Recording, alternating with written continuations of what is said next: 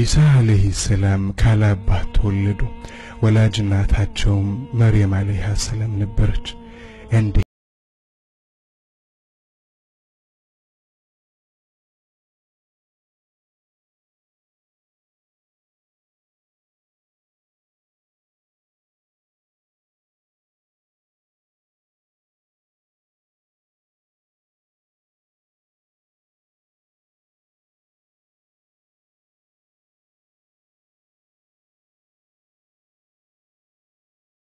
ሰው ያልነካኝ ሲሆን ለእኔ እንዴት ልጅ ይኖረኛል አለች። ነገሩ እንዳልሽው ነው። አላህ የሚሻውን ይፈጥራል። አንዳችን በሻ ጊዜ ለእርሱ ሁን ይለዋል፣ ወዲያውም ይሆናል አላት።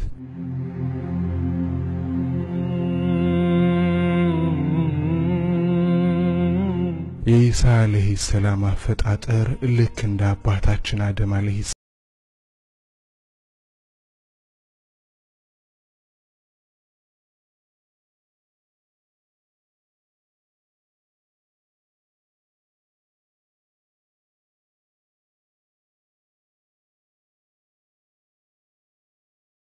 ኢሳ ምሳሌ ልክ እንደ አደም ቢጤ ነው። ከአፈር ፈጠረው። ከዚያም ለእርሱ ሰው ሁን አለው፣ ሆነም።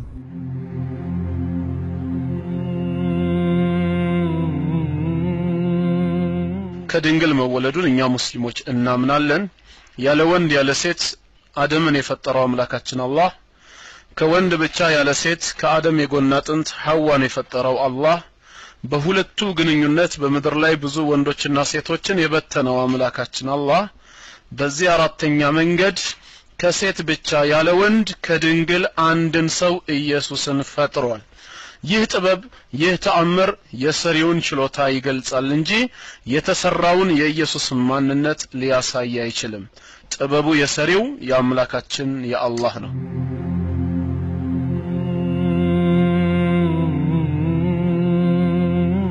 ኢሳ አለይሂ ሰላም ከምርጥ ነቢዮችም አንዱ ነበሩ። قال إني عبد الله آتاني الكتاب وجعلني نبيا ሕፃኑም አለ እኔ የአላህ ባሪያ ነኝ፣ መጽሐፍን ሰጥቶኛል፣ ነቢይም አድርጎኛል። ነብይም ነው ብለን እናምናለን። መልእክተኛም ነው ብለን እናምናለን። ይህን እውነታ መጽሐፍ ቅዱስም ይመሰክራል። ኢየሱስ ስለ ራሱ ምን አለ ብለን ብንጠይቀው በማርቆስ ወንጌል ምዕራፍ ስድስት ቁጥር አራት ላይ ወደ ገዛ ሀገሩ ገብቶ በሚያስተምርበት ሰዓት የገዛ ወገኖቹ አበደ ብለው በተቃወሙት ሰዓት ምንድን ነበር ያላቸው? ኢየሱስም ነብይ ከገዛ ሀገሩና ከገዛ ዘመዶቹ ከገዛ ቤቱም በቀር ሳይከበር አይቀርም በማለት ራሱን በነብይነት ሲገልጽ ነው የምናየው። መልእክተኛ መሆኑን ደግሞ በዮሐንስ ወንጌል 17 3 ላይ ገልጾታል። ዮሐንስ ወንጌል ምዕራፍ 17 ቁጥር 3 ላይ ምን ይላል? የዘላለም ሕይወትም ይላል ብቻህን እውነተኛ አምላክ የሆንከው አንተንና የላከውን ኢየሱስ ክርስቶስን ያውቁ ዘንድ ነው ይላል። ሰው የዘላለምን ሕይወት ማወቅ ከፈለገ ብቻውን እውነተኛ አምላክ የሆነ አንድ ፈጣሪ መኖሩን ማመንና ኢየሱስ ክርስቶስ የተላከ መልእክተኛ መሆኑን ማረጋገጥ ነው የሚያስፈልገው። ስለዚህም መልእክተኛ ነው፣ ተልኳል። ለዚህም ነው እየጮኸ ሲያስተምራቸው ዮሐንስ ወንጌል ምዕራፍ 12 ከቁጥር 42 እስከ 44 ኢየሱስም ጮኸ እንዲህም አለ፣ እውነት እውነት እላችኋለሁ በእኔ የሚያምን በላከኝ ማመኑ ነው እንጂ በእኔ አይደለም በማለት የተላከ መልእክተኛ መሆኑን ገልጿል። የተላከ መልእክተኛ መሆኑን ገልጿል።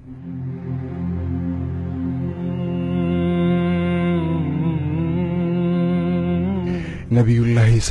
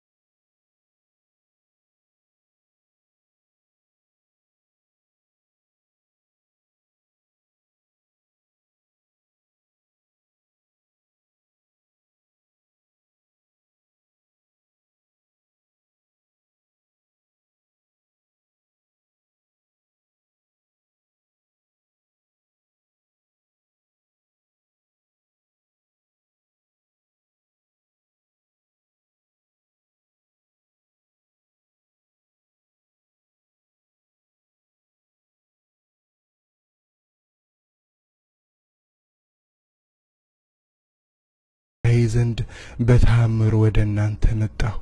እኔ ለእናንተ ከጭቃ እንደ ወፍ ቅርጽ እፈጥራለሁ፣ በእርሱም እተነፍስበታለሁ። በአላህም ፍቃድ ወፍ ይሆናል። በአላህም ፍቃድ እውር ሆኖ የተወለደን ለምጸኛንም አድናለሁ፣ ሙታንንም አስነሳለሁ። የምትበሉትንና በቤታችሁ የምታደልቡትንም ሁሉ ነግራችኋለሁ። የምታምኑ እንደሆናችሁ ለእናንተ በዚህ ውስጥ በእርግጥ ተአምር አለበት። ተአምራትን በሚያደርግበት ሰዓት ተአምራትን በአላህ ፍቃድ በሚሰራበት ሰዓት እንኳን የተአምራቱ ግብና ዓላማ የእሱ መልእክተኝነት እንዲረጋገጥ እንጂ አምላክ ወይ ፈጣሪ እንደሆነ እንዲመሰከር እንዳልሆነ ሲናገር አላዛርን ከሞት ባስነሳበት ጊዜ በዮሐንስ ወንጌል ምዕራፍ 11 ላይ ማለት ነው። አላዛርን ከሞት ሲያስነሳው ወደ ቁጥር 41 ላይ ሄደን ብናነበው ጥቅሱ ምን ሆኖ እናገኘዋለን? ኢየሱስም እጆቹን አይኑን ወደ ላይ አንስቶ አባት ሆይ ስለሰማኸኝ አመሰግናለሁ፣ ሁሌም እንደምትሰማኝ አውቃለሁ። ነገር ግን አንተ እንደላከኝ ያምኑ ዘንድ በዚህ ዙሪያ ስለቆሙት ሕዝብ ተናገርኩ አለ። ምን ይሆኑ ዘንድ አለ? አንተ እንደላከኝ ያምኑ ዘንድ ነው ያለው። የተአምራት ግብና ዓላማው እንደተላከ መልእክተኛ እንደሆነ ማመን ይሄ ነበረ ግብና ዓላማው። በማቴዎስ 9:8 ላይ ለረጅም ጊዜ ሲሰቃይ የነበረውን በሽተኛ ያንን ያልጋ ቁራኛ አልጋህን ተሸክመ ሂድ ብሎ ኢየሱስ በተናገረው ሰዓት ያም ሰው ቆሞ ወዲያውኑ አልጋውን ሲሸከም ሕዝቡም አይተው አደነቁ። ለሰውም እንደዚህ ያለ ችሎታ የሰጠ እግዚአብሔርን አከበሩ ይላል። ሲያከብሩ የነበረው ለማን ነበር? ለሰውም እንደዚህ ያለ ችሎታ የሰጠ እግዚአብሔርን። ኢየሱስ already ሰው ነው፣ አልጠፋቸውም እነሱም ዘንድ። እንደዚሁም ችሎታ የተሰጠው ከአምላኩ ዘንድ መሆኑንም አረጋግጠዋል። ይሄን ስለሰራህ አንተ አምላክ ነህ፣ ይሄን ስላረክ አንተ እግዚአብሔር ነህ ብለው አልተናገሩም።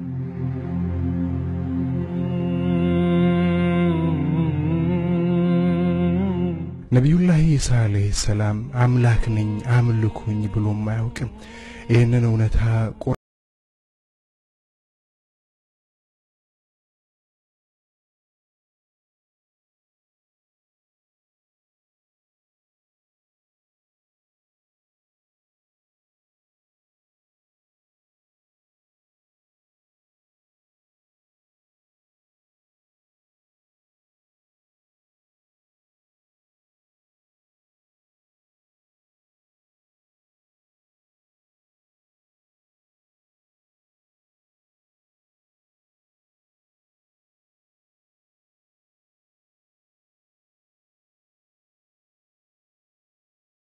ጂሳ ሆይ አንተ ለሰዎቹም እኔና እናቴን ካላህ ሌላ ሁለት አምላኮች አድርጋችሁ ያዙ ብለሃልን?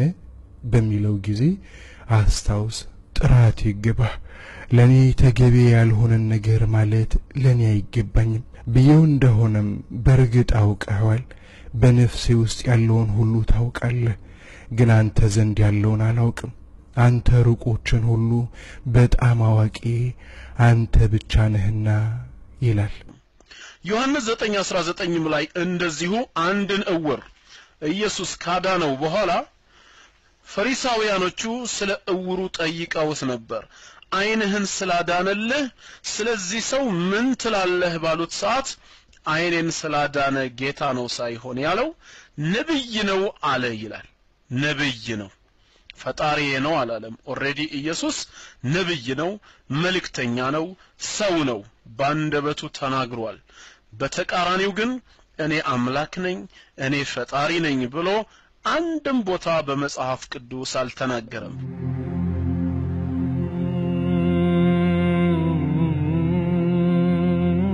በቅዱስ ቁርአን ውስጥ ስለ ነቢዩላህ ሳሌህ ሰላም ከተጠቀሱት እውነታዎች አንዱና ከክርስቲያን ወገኖቻችን ጋር የምንለያይበት ሌላው ነጥብ ደግሞ የሚከተለው ነው። ነቢዩላህ ሳሌህ ሰላም አልተገደሉም፣ አልተሰቀሉም ብለን እናምናለን። ወቀውልህም ኢና ቀተልና አልመሲሐ ዒሳ ብነ መርየም ረሱለላህ وما قتلوه وما صلبوه ولكن شبه لهم وإن الذين اختلفوا فيه لفي شك منه ما لهم به من علم إلا اتباع الظن وما قتلوه يقينا እኛ የአላህን መልእክተኛ የመርየምን ልጅ አልመሲህ ኢሳን ገደልን በማለታቸውም ረገምናቸው። አልገደሉትም፣ አልሰቀሉትም።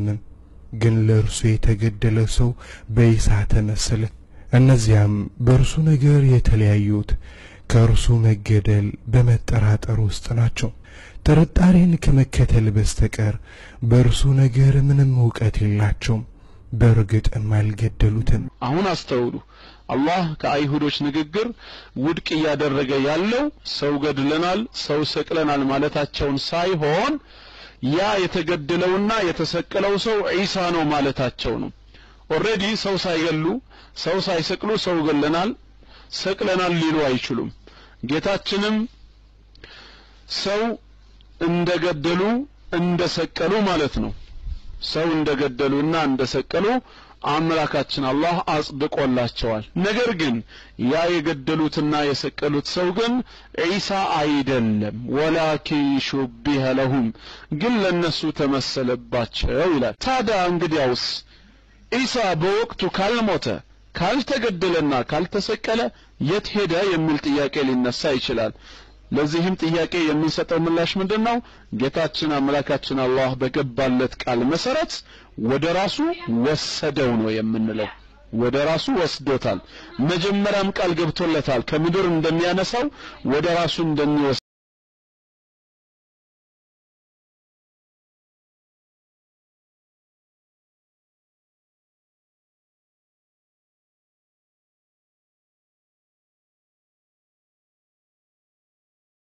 አላህ ባለ ጊዜ አስታውስ፣ ያ ዒሳ አንተ ዒሳ ሆይ አለው።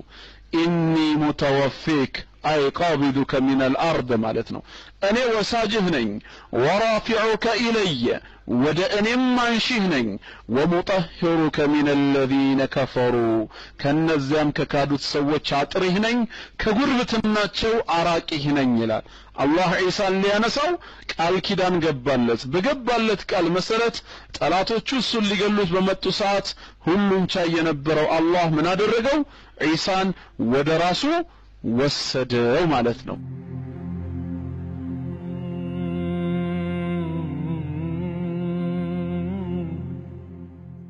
ክብራትና ክብራን ከእናንተ አድማጮቻችን መሃል የተወሰናችሁት ሙስሊም እንዳልሆናችሁም በግል ከሚደርሰን አስተያየቶች ለመረዳት ተችለናል። ወደ እስላም መምጣት ለምትፈልጉ መንገዱ ቀላል መሆኑን ለማሳየትም አንዲት እህታችን የሰለመችበትን መንገድ እናሳያቸዋለን። በድጋሚ መልካም ቆይታ። ጉዞ ጉዞ ጉዞ ወደ እስላም እንኳን ደስ አለሽ እህት ሰሚራ። እንኳን አብሮ ወላሂ በጣም ነው ደስ ያለኝ። ብዙ ጊዜ ደስ ይልሽና አንዳንዴ ደስታሽ በቃ ውስጥ ብቻ የሚቀር ይሆናል። አንዳንዴ ደስታሽ አፍሽ አካባቢ ፈገግታ የሚያመጣ ይሆናል። አንዳንድ ጊዜ ደስታሽ ደግሞ ፍንቅል ብሎ እምባ የሚያመጣ ይሆናል አይደል? እኔ ወላሂ እምባ ፈሰሰኝ እና ዱዓ አደረግኩኝ። ያ ረህማን አሁን ለዚች ልጅ ሰበብ እንዳደረከኝ ለሌሎች እህቶቼም ለመስለም ሰበብ አድርገኝ አልኩና በጣም ነው ደስ ያለኝ። ለመደሰቴ ምክንያት ስለሆንሽ ከልብ አመሰግናለሁ። ለዱንያም ለአኼራም መንገድ ነው دين الإسلام ለሰው ዘር ሁሉ ሰላም ሕይወት ነው የዘላለም መጠጊያ ብሎ ያለ በአላህ ተከለለ በልቡ እምነት ዶለ ኢስላምን ተቀበለ። በሌላኛው መስመር ላይ ኡስታዝ አቡ ሀይደር አለ። ኡስታዝ አቡ ሀይደር ሰላም ብላችሁ። ሰላም አለይኩም ወአለይኩም ሰላም። ሳዲቅ እባላለሁ። ወደ ኢስላም መምጣት ፈልገሽ ነው? አሁን ለመስለም ነው? አዎ ወደ ኢስላም ለመምጣት ፈልጌ። Okay። አሁን ሸሃዳ ለመያዝ ነው? አዎ መርሃባ፣ ቀላል ነው። ሸሃዳ መያዝ ይችላል። ቅድሚያ ያው መረዳት ያለብሽ እና እስልምና ማለት በአንድ አምላክ ላይ የቆመ እምነት ነው። እስላም የሚያስተምረው ከመጀመሪያው ሰው ከአደም ዘመን ጀምሮ የነበሩ ነቢያቶች በጠቅላላ እስልምናን አስተምረዋል። ሁሉም የፈጠሩት አንድ አምላክን ነው። ይህንን ዓለም የፈጠረ ሰማይና ምድርን ያዘጋጀ ለሁሉ ነገር ህልውና የሰጠ አንድ አላህ ብቻ ነው። ከአላህ በስተቀር ሌላ ፈጣሪ አምላክ የለም። ሌላ ሊመለክ ሊሰገድለት የሚገባ አምላክ የለም። ሁሉን ነገር የፈጠረ ብቻውን አላህ ነው። ረዳት፣ አጋዥ፣ ዋና ሰራተኛ፣ አማካሪ እንደሌለው ሁላ ሲመለክም ብቻውን ነው የሚመለከው፣ አጋር አያስፈልገውም። ስለዚህ አንድ ሰው ሙስሊም ሆነ ማለት በህይወት ዘመኑ አላህን ብቻ ሊያመልክ አላህን ብቻ ሊገዛ ቃል ገባ ማለት ነው። ለነቢያት የሚቀርብ አምልኮ የለም፣ ለመላእክት የሚቀርብ አምልኮ የለም። ጻድቃንን፣ ሰማዕታትን፣ ሙታን አካላትን አናመልክም። አንድ አላህን ብቻ ነው የምንገዛው ማለት ነው። የፈጠረን እሱ ነውና ነብዩ መሐመድ የአላህ ነብይ ናቸው ብለን ነው የምናምነው። አላህ ነብይ አድርጎ ልኳቸዋል። በነብይነታቸው እናምናለን። ያመጡልን መልእክት ቁርአንና ሐዲስን እንቀበላለን። ግን አነሰግድላቸውም፣ አንጾምላቸውም። አላህን ብቻ ነው የምናመልከው። አንቺ ዛሬ ሙስሊም እሆናለሁ ብለሽ ስትነሺ ግን የአላህን ጌትነት መስክረሽ አላህን ብቻ ልታመልኪ ቃል ገብተሻል ማለት ነው። دين الإسلام دين الإسلام دين الإسلام دين الإسلام ለዱንያችን ለአኼራችን የዘላለም ዲን አልኢስላም ዲን አልኢስላም ዲን አልኢስላም ዲን አልኢስላም ለዱንያችን ለአኼራችን የዘላለም ስለዚህ አሁን ሻሃዳውን አብረን እንበል። እሺ ቅድሚያ በአረብኛ ከዛ ደግሞ በአማርኛ አብረን እንለዋለን። እሺ አሽሃዱ አሽሃዱ አላ አና ኢላሃ ኢላሃ ኢላላህ وأشهد وأشهد أن أن محمدا محمدا عبده عبده ورسوله. ورسوله. وأشهد وأشهد أن أن عيسى عيسى عبد الله عبد الله ورسوله. ورسوله.